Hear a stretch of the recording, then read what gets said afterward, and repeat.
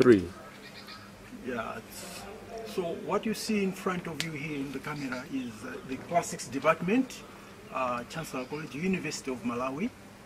And it was a wonderful opportunity through Mark Asher, who linked us with um, uh, Lana and Madeline at Center for uh, Hellenic Studies for us to, to afford us an opportunity to read the segment on the, uh, of the uh, Odyssey. Um, so I am uh, Steve Nyamilandu, and I will let the others introduce themselves. So Mike Chappell, Uh, Patrick Kachimanga. Chikondi Medson, uh, lecturer in classics. Dorothy Phuka.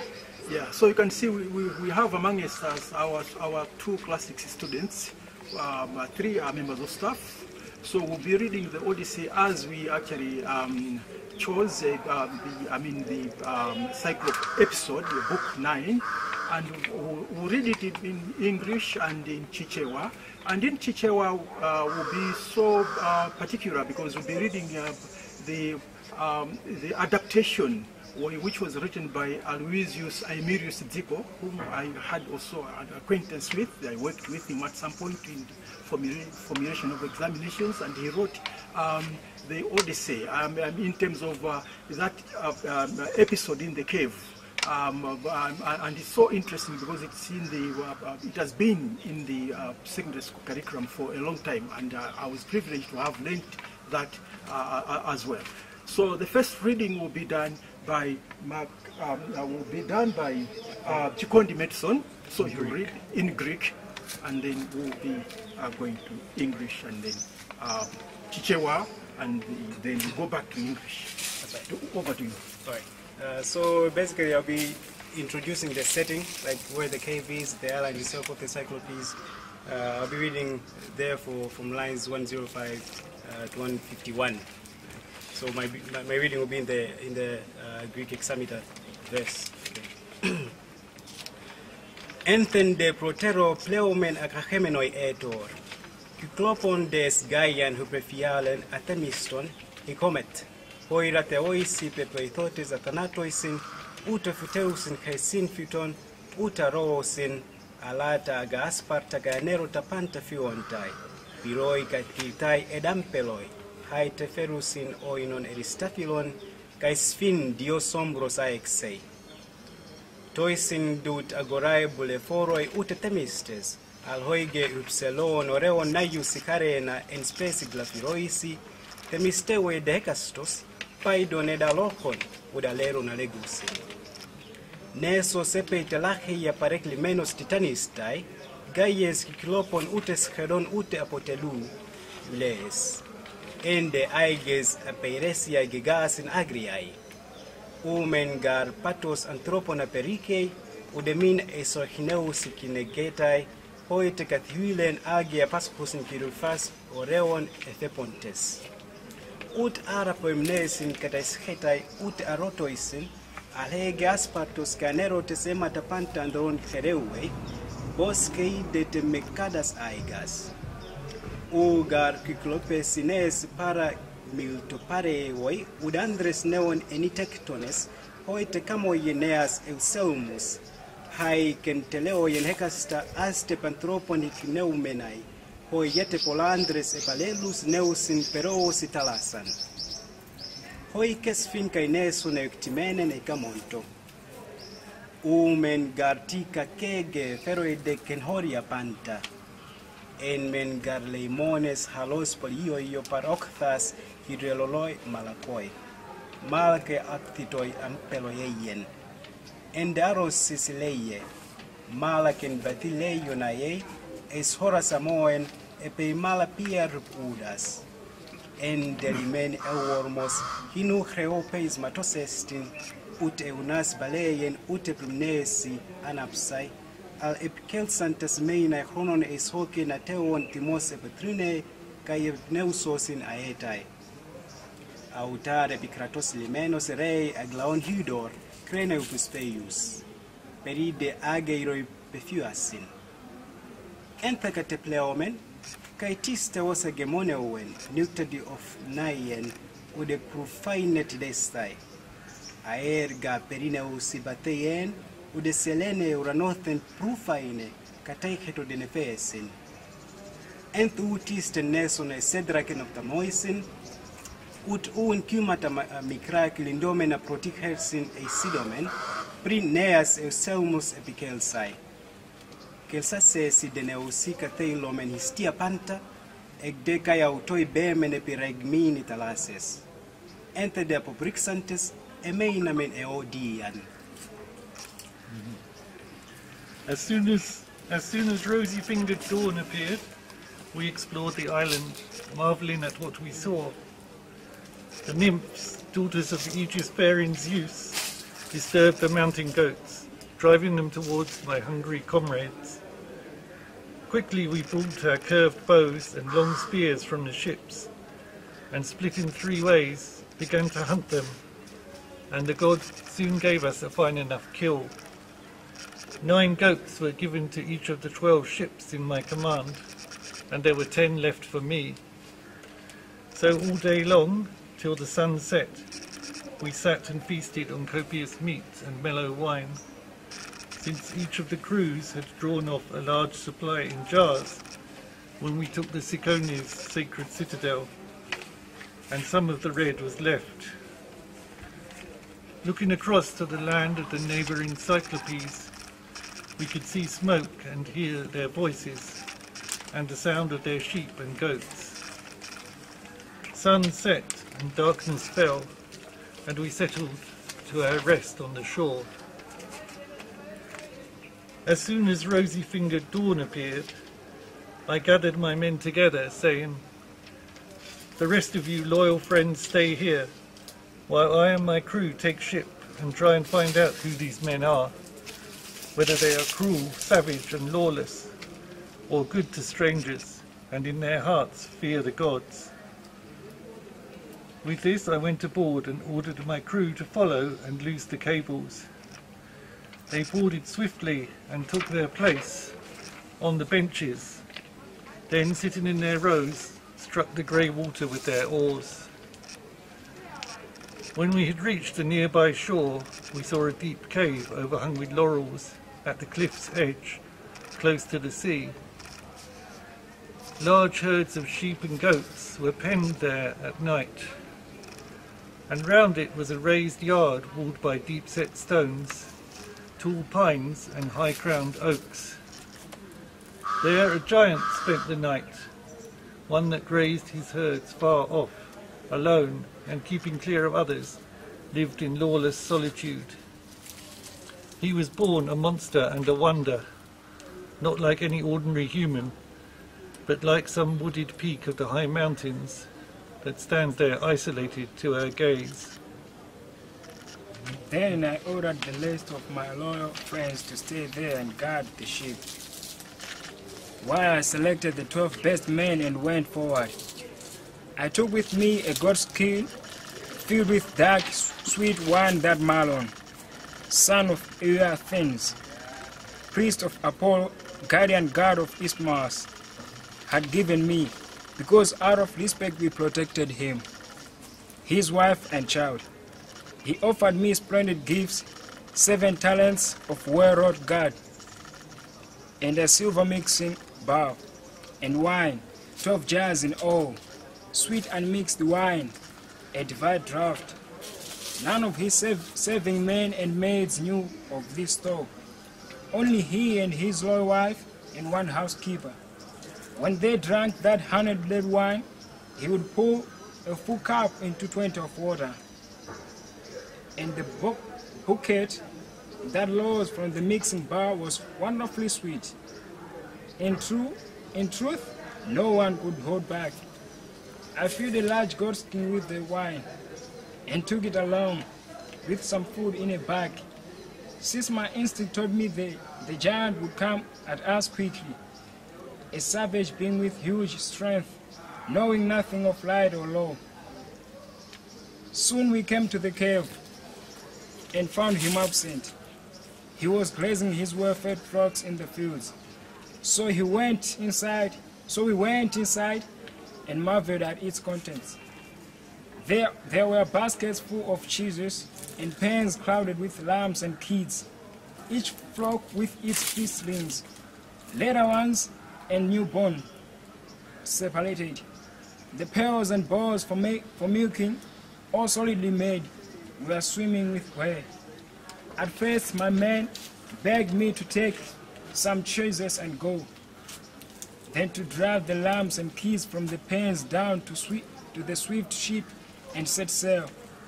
But I would not listen, though it would have been best, wishing to see the giant himself and test his hospitality.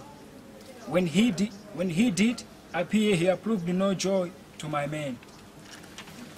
Yeah, we now switch on to our Bwampini. Uh, you can, uh, the, that's the cover of the book. Uh, and the, the hero Bwampini, uh, that's Odys- Odysseus. And uh, Bwampini uh, in Chichewa is a, you know, a big rodent, which is supposed to be very clever, a clever animal. And that's why you might have chosen that, that. As for the uh, for the Polyphemus, the, the monster here, the name which is substituted with is Chikutumbwe. You know, it sounds onomatopoetic. I saw it showing, you know, sound imitation of the word. It's a monster that you could even, you know, detach anything. Chikutumbwe. So my reading there will, come, uh, will be more or less a continuation from where my colleagues have stopped. It's because the adaptation is much more straightforward in this in this book. So it's in Chichewa, a, a local language of Malawi. It's our official language. There is uh, English as official language, but this is the official language which we use. And this text, just as I said, we use it for the literature for the uh, secondary schools, and it has been used for quite a long time. Um, so bwampini anachita odi sadamve liundi limodzi onse adangolowa popeza njala idawapota aliyense adadula nyama kuti awotche monga adakathera atadya adamwera vinyo. Yemwe adabwera naye. Akucheza adamva phokoso la nkhosa ndi mbuzi zomwe zikubwera. Memememememe bebebebebebe lowulowu zonse zidalowa. Koma mbusa wawo osamuona. Zidali nkhosa ndi mbuzitu zazikuluzikulu ndiye ngati ng'ombe kukula kwace posakhalisa adamva kukhotsomola and kenako mwini wake wakutulukira mwini wakeyo sadam- sadamwezemwaze maso ayi adangofikira kugwesa ntolo wake wa nkhuni.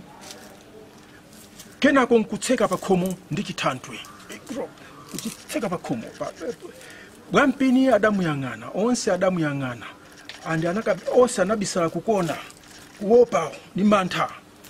Onse ananjenjemera. Chimwendo uko diso lalikulu pa mphumi chidali chikutumbwe. Mmene adacheuka adangoyang'anisa adangoona ti anthu tatsamirana-tsamirana ndiye icho chidasekerera nachifunsa ndinu yani? No ndinu yani? Bwampini adayankha ndife angitawo ndiwe yani ukuyankhulawe? Ndine ndingolira. Mwasangasanga chida- chidagwira anthu awiri miyendo ndi kuwamenyesa pamodzi mitu yokhayokhayi nthawi yomweyo kuwaponyeratu mkamwa mmodzimmodzi nkumedza gwidyo gwidyo. Pamene amalinyero amalinyero adasisima ndi mantha chindani chawocho chidatenga ndowa zitatu za mkaka kumwera kutsitsira kumwera anthu aja kuthanthweko kenako nku- nkuwatafuna kumenyanso ina kuwatafuna. Kenako nkutsitsiranso ni ndowa ziwiri zodzaza ni mkaka wophika chitatuluka bwampini adawomba m'manja ndi kugwedeza mutu. Ataona chimtengo chachikulu adachisongola ndipo kuchisonga na- nauza anzake kuti usiku ukhale cheru. Kukuda kudamvekanso memememe bererererere chirombo chitatulukira ndikuwakulumunya ngati switi. Anagwiranso anthu awiri kuwakulumunya kuwamwemeza ngati switi. E, ta, ta, tangofulumira naye iwe chidayankha bwampini at- atanena anachifunsa kodi munabwako vinyu vinyo wotsekemera tangofulumira nayo chidayankha chitalawa vinyu chikunumbwe chidabwekera ndi kupemphanso wina. Kenako chida- chidali dzandidzandi kulezera ah, china- china- chinagona tulo chinagona tulo iwe ndizakudya komaliza. Chifukwa ndiwe wo- wo- womvera. Mosachedwa bwampini adatenga chimtengo chosongola chija nachiyika pa moto moto kuyika pa moto chitafira adauza anzake kuti athandize kubaya diso la chikundumbwe kutenga chitengo cha kubaya diso la chitumbuko chikutumbwe sadachedwe adachinyamula chimtengocho ndi kuchiponya munyonga ndi diso chirombocho mpaka thudzu kuthudzuka apo chidafula ndi kubula anzake onse adabwera. Ukuliranji oo ukuliranji. Akundipha kuno ndingolira. Ndingolira anzake wadafunsa tsono poti kungolira balira kutacha mpini ndi anzake adadzimangirira kumimba kwa nkhosa kumimba kwa nkhosa kutuluka mu mukevu Kuf- kufufuza chikunumbwe sinapeza munthu wakhungu pa- panja anthu aja adadzimasula ndi kuthawa. Adawuyambaso ulendo ndipo ali mkati mwa nyanja bwampini adafula tsalatsala iwe nichiponya ndi mphamvu zake zonse powafuna kuti aphe anthu aja chiwageni pang'onong'ono onse adaka, adakafa chimwala chidagwera pafupi ndi ngalawa. Anakenda chimwala kafika pafupi ndi ngalawa. Ndipo pang'ono-pang'ono ngalawazo zidatembenuzika ukunama ndi bambo anga madzimo sakusiyani Chi- chikutumbwecho chidafula. Ulendo udali pakati koma ndi chisoni. Translation. The interesting thing I need to add there is um, in the Odyssey, uh, Odysseus chooses uh, the name of nobody. But here, uh, Bwampini chooses the name of um, I'm just merely crying. My name is just crying, merely crying.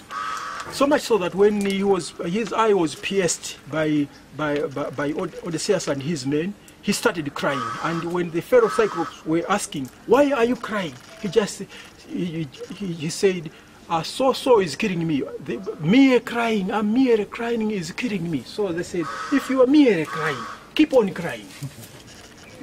That's it. So we switch on to the English one.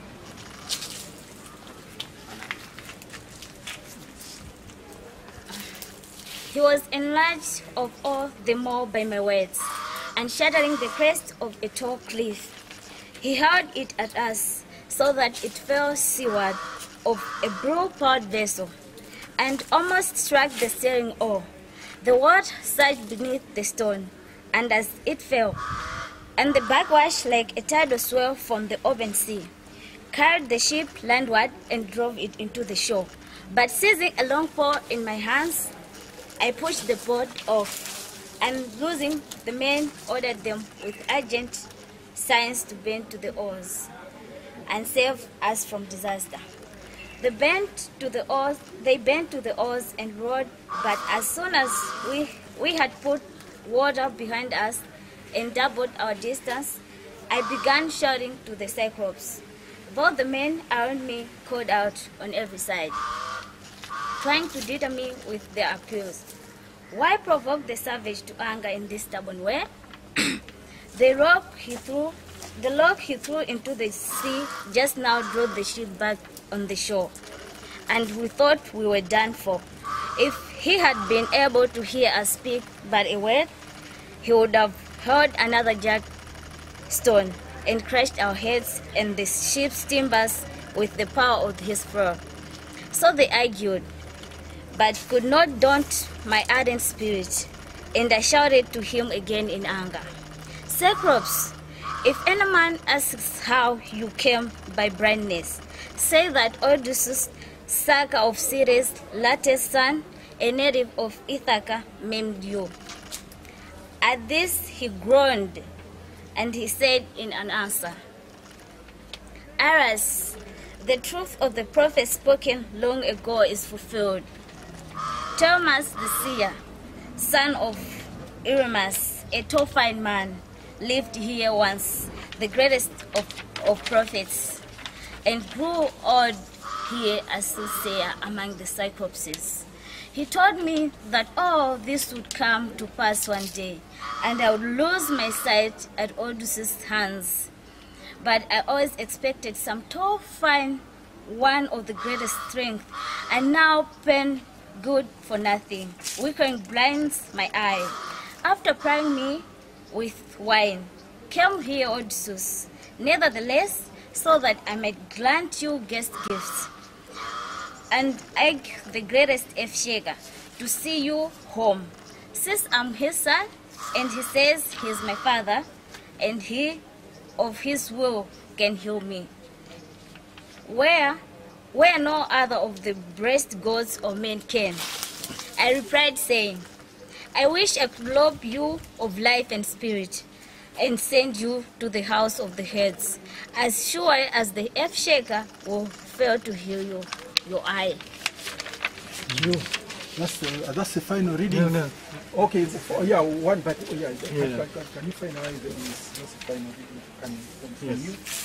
So at my words, he stretched out his hands to the starry heavens and prayed to the Lord Poseidon. Hear me, Poseidon, dark-tressed earth-bearer. If I am your son, if you say you are my father, let Odysseus, sacker of cities and son of Laertes, never reach his home on Ithaca.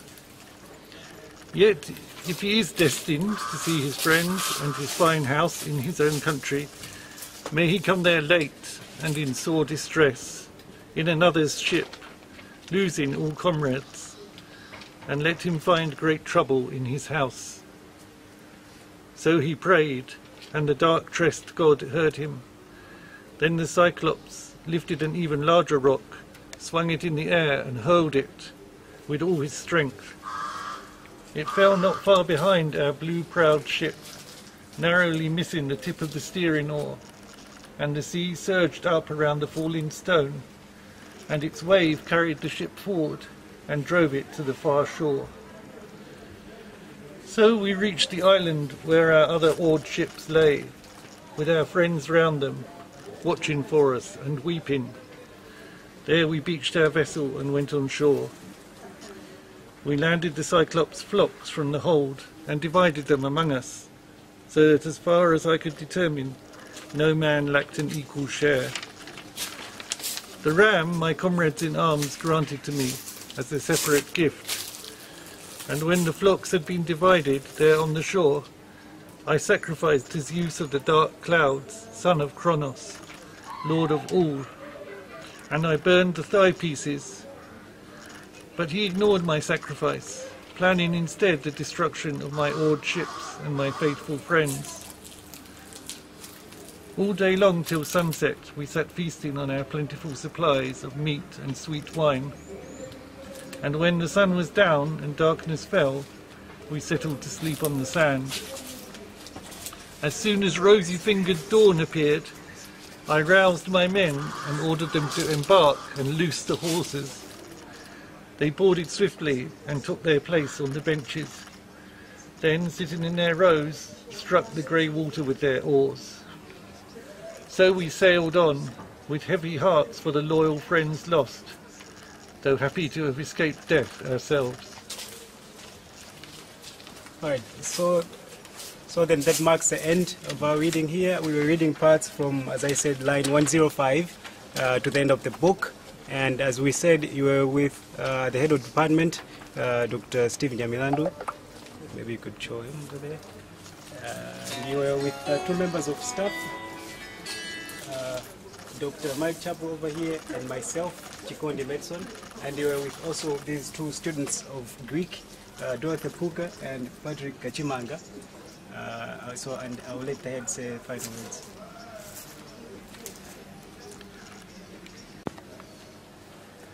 Okay, uh, uh, the cameraman, the video man is um, Jonathan Ngalauka, uh, who has been teaching for us for, for, for ages. Uh, he's a member of staff as well on part-time basis. He teaches third years, even fourth years, so he's been with us for quite a, a, a, a- long time. Uh, the, the, the, um, it, uh, it was a wonderful opportunity once more for us to be afforded this opportunity to uh, have a video uploaded from University of Malawi. And we should uh, uh, once again uh, thank uh, uh, the Center for Hellenic Studies and uh, of course through Mark Asher and Lana and Madeline that we've managed to be captured on this one. It will be wonderful for us to, uh, to from Malawi at least to see a video coming out and more so that we chose an episode where we had an adaptation from uh, from Malawi uh, by, by, by uh, Miros which was written in 1965. The first printing was in 1965, even before the classics department here was established. So that's a wonderful opportunity. Unless you have something to say, you, you may No, want to comment fine, on something. uh, it's fine. all right, yes. Okay. So, no. All right. we forgot about, you know, have you switched off?